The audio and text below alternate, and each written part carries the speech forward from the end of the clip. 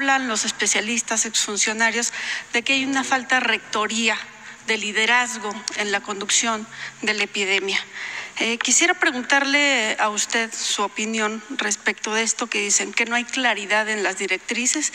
Tan es así que ya, digamos, hay un frente de estados integrado por Tamaulipas, Nuevo León, Coahuila, Durango y Michoacán que han asumido medidas propias, sin hablar de, por ejemplo, lo que ha ocurrido y la confrontación que usted ha tenido con el gobernador de Jalisco.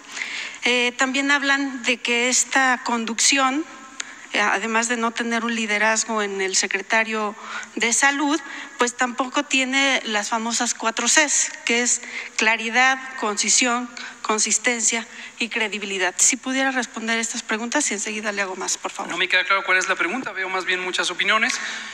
Pues toda opinión es válida. Eh, cuando se trata de opinar, pues hay estilos, hay preferencias y nosotros aquí trabajamos sobre técnica, sobre ciencia, estamos dando un mensaje técnico, pero no quiere decir que la gente se deba privar de opinar. Cada quien puede preferir el color rojo, el color azul. A mí me gusta la obra de eh, Siqueiros, por ejemplo, y hay a quien no le gusta la obra de Siqueiros. Entonces, si quieren opinar, qué bien, qué bueno que haya pluralidad. Hay un país libre, debemos siempre acordarnos de la libertad de expresión, la libertad de prensa, que hace unos pocos días, el domingo, lo celebramos. Entonces, bien. ¿No le importa entonces que la gente no le crea? Cada quien que opine lo que quiera, por supuesto.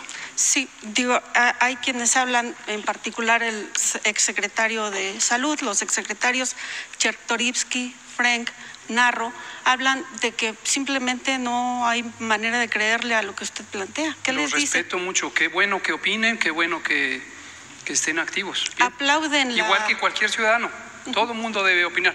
Por cierto, eh, no me quedó claro si cuando usted habla de confrontación eh, con los gobernadores, ¿Es opinión suya o del editor de su periódico o su periódico? ¿De qué medio me dijo usted que es? Del Sol de Sol de México. sí, por supuesto. ¿O es eh, opinión de estos secretarios? Pero eh, bien, todo le mundo, pongo, le pongo un ejemplo. Los secretarios de salud de estos estados que he mencionado, los gobernadores, han tenido diversas reuniones. Mañana tienen una más.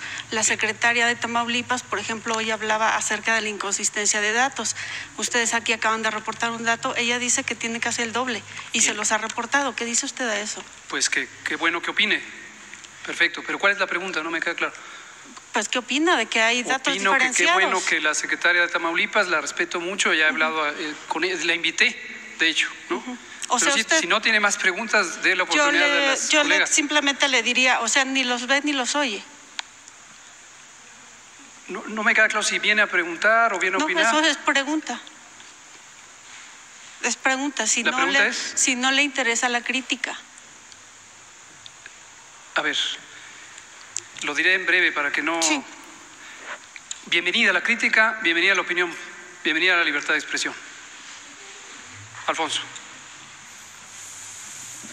Gracias. Buenas noches, Poncho Gutiérrez. Eh,